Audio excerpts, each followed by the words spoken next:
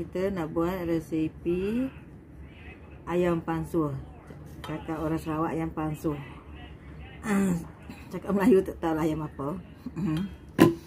Bahan-bahannya ayam. Ayam ni tak banyak lah kira setengah kilo Sebab buluh kita pakai buluh ni. Buluh. Biasalah duduk di bandar ni tak ada buluh.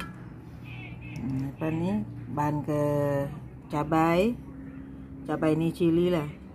Serai halia bawang bawang merah. Bawang merah kecil lah ambil sebiji tu. Dengan uh, nama tu bawang putih. Ayam dah campur dengan garam dengan kunyit. Kita dah gaul sekali. Semua tahu lah gaul garam dengan kunyit. Buahlah gula sikit nanti manis. Nah, lepas ni, ni buluh kita. Utamakan ada buluh. Jadi ayam ni kita guai sekali lah dengan bahan-bahan tu. Kita gaul ni sekali ni. Ni dengan ni gaul sekali. Sebab kita nak masuk dalam bulu tak payah masuk air je automatik dia ada air sendiri nanti dalam bulu ni. Hmm, sekarang ni kita simpan ni. Masuk ni macam ni. Buluh ni tadi dah bersihkan tau. Buluh bersih lah dah basuh lah buluh ni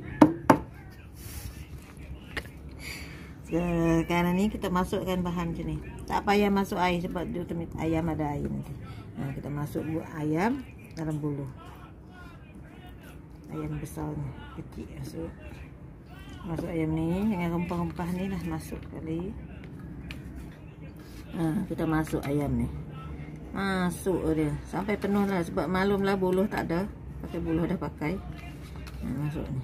Masuk bahan Ha, masuk Kalau buluh yang baru ambil memang sedap lah bau bawang buluh ni. Ha, bawang buluh dia sebab buluh ni buluh dah pakai biasalah buat di bandar tak ada buluh. Ha, kita masuk sampai penuh lah. Macam ni. Hmm, ya ada lebih ni kalau kita nak buat buat lagi sebab buluh tak ada pasal sikit-sikit sekali ni sekali nak buat resipi macam ni ha, dah dah dah masuk ya lagi dia midi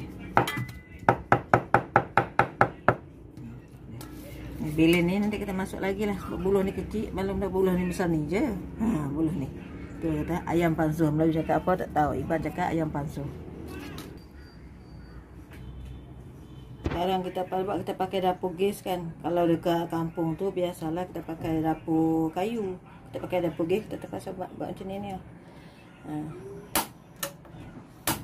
Ha, kita kena buat macam ni lah. Sampai dia mendidih ayam Sampai ayam masak lah kita buat macam tu Nanti kita tengoklah hasilnya macam mana.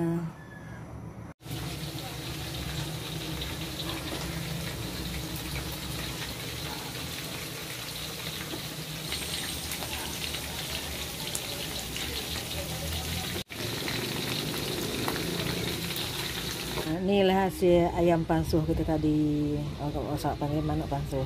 Kita nak tuang, tuang eh.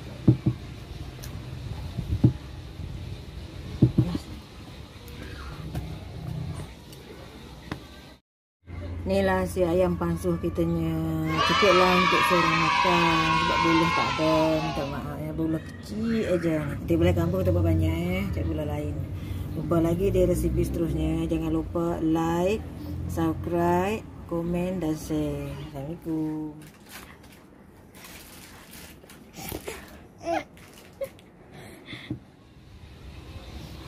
Rasa buluh lama.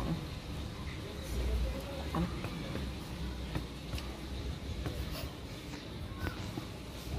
tutup, kau tutup.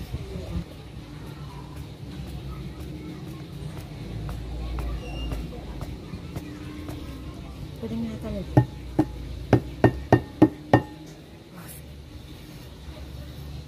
Kita tolak kan? Thank you.